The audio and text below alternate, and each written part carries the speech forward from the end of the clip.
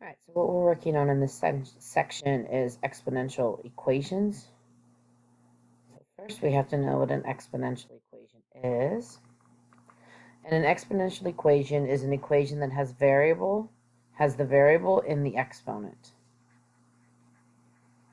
So you can see down here my variable is part of the exponent. Okay. To solve an exponential equation, you first must get the bases the same. Once the bases are the same, you can cross off the bases and solve the remaining equation. So when we look at this first example on the left, my base is 2, and over on the right side, my base is 2.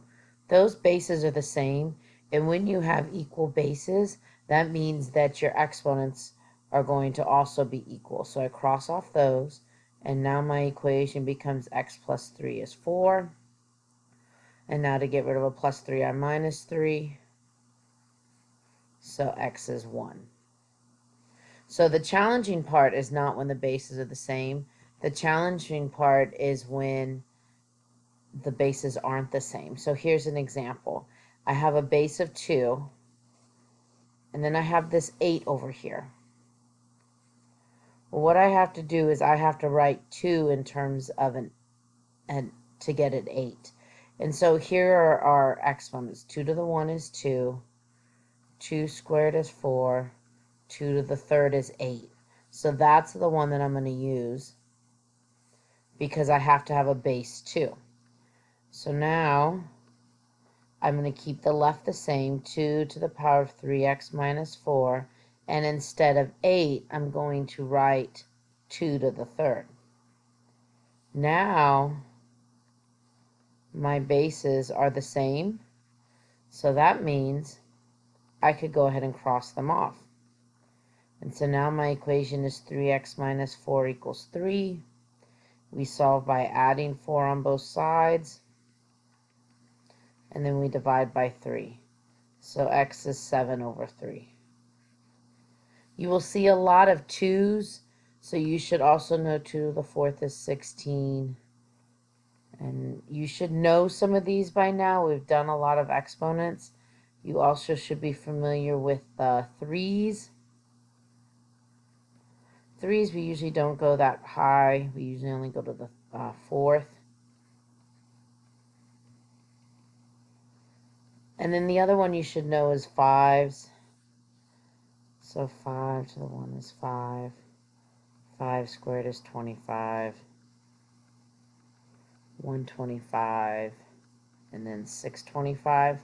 I would be really familiar familiar with the 2s, 3s, and 5s. You don't need to know the 4s because 4 is just a 2.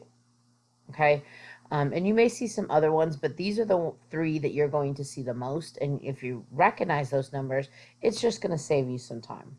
Okay, so go ahead and make sure you get those written down, and when you're ready, go ahead and press play. okay, so we have three examples to go over here. Um, and so right now, I have a base of 2 and 4. And so the 2 is okay, so I'm going to keep that there. The 4 needs to be 2 squared.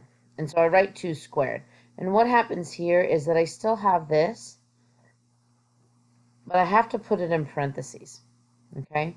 Because it's 2 squared and it's to the x plus 9.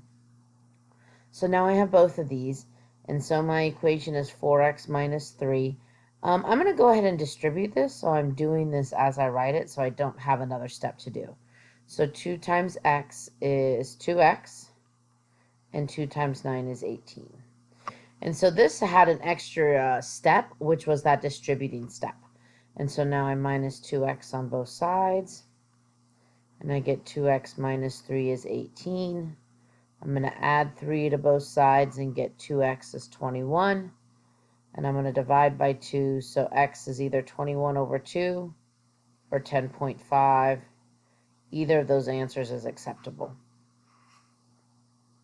Okay, when we look at number 2, 9 and 27, neither of them are prime.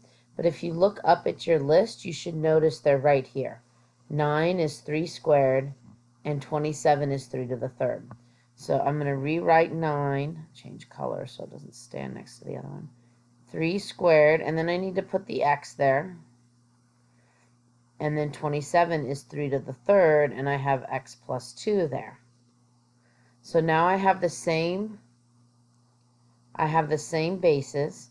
So my equation will be 2x, and now I'm going to distribute this, is equal to 3x plus 6. And so I'm going to subtract 3x on both sides. So negative 1x is 6. And then I'm going to divide by negative 1, so x is negative 6. Okay, so the last type we have is sometimes you're going to have fractions, but in the fraction, you just focus on this denominator. And that denominator is an 8. And hopefully, you go up to your list and you recognize, oh, there's 8. 8 is 2 to the thirds. So I know it's base 2, and I know it's a 3. But the only way that 8 could get to the bottom of a fraction is if it's a negative exponent. So this is 2 to the negative 3 is equal to 2 to the x minus 3. So whenever you have a negative exponent, you have to realize negative exponents go to the bottom. Okay?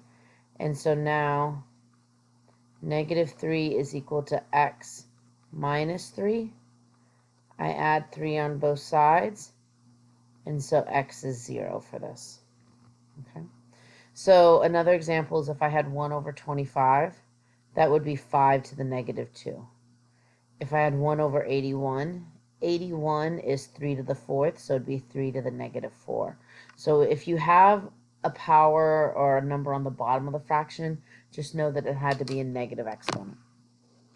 Okay, so for this lesson, that's about it. You have to try and get your bases the same. Majority of your bases you'll find in these numbers up here. Once your bases are the same, you cross them off, and then you have basic um, equations to solve.